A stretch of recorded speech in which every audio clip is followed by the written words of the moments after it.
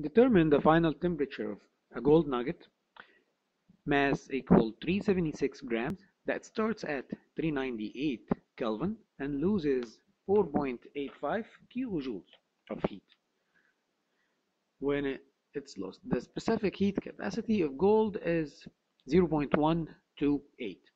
So to be able to do this type of question, we need to know the equation first. So my equation in this case is Q equal mc delta T.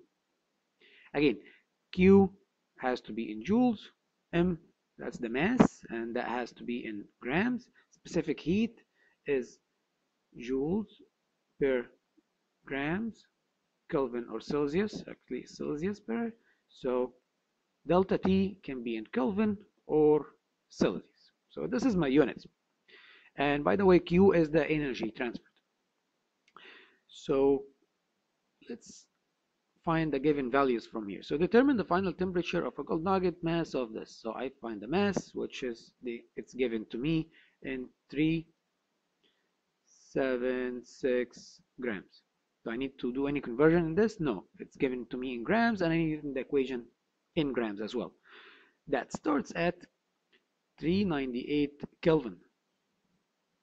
Okay, so this is not delta T, this is T initial, starts at, right?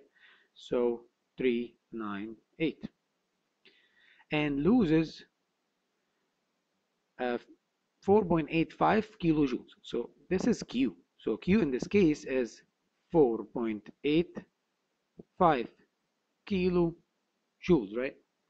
So it says what? It says loses, right?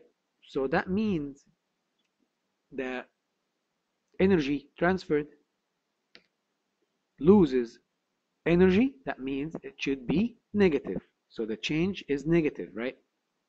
And it's in kilojoules. Do I need to do any conversion for the unit? Yes. Why? Because Q, I need it in joules. So transfer this to joules, divide by kilojoules, by joules. One of the kilo gives me a thousand. Can cancel the kilojoules. That gives me what? Negative 4.85 times 10 to the power of 3 joules. All right. Okay, so again, the specific heat capacity of gold is this. So this is given as well. So specific heat capacity is 0.128, and this is joules per grams Celsius. All right, so let's plug in these numbers in the equation. All right, so Q is given to me as we said, so it's a negative 4.85 times 10 to the power of 3 equal m and it's given to me as well this is m it's a 376 okay and c is given to me it's right here 128 all right so i multiply that by delta t i'm looking for what the final temperature right okay so if i did the mass of this I will get delta T equal to, let me do the calculation, it's going to be a negative 100. So delta T will equal to a negative 100. Okay. All right, so what's delta T?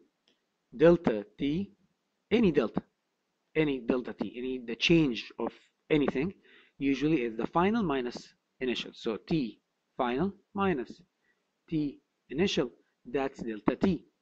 Do I have t initial? Yes, it's given to me, and in the question it says 398, right? It starts at 398. Do I have delta t? Yes, I have it. Now it's a negative 100. So negative 100 equal t final minus what? 398. So if I move this to the other side, in the positive so that will give me a t final. If I did the math equal to 298 exactly. And this is in Kelvin right? So that gives me this is the closest answer.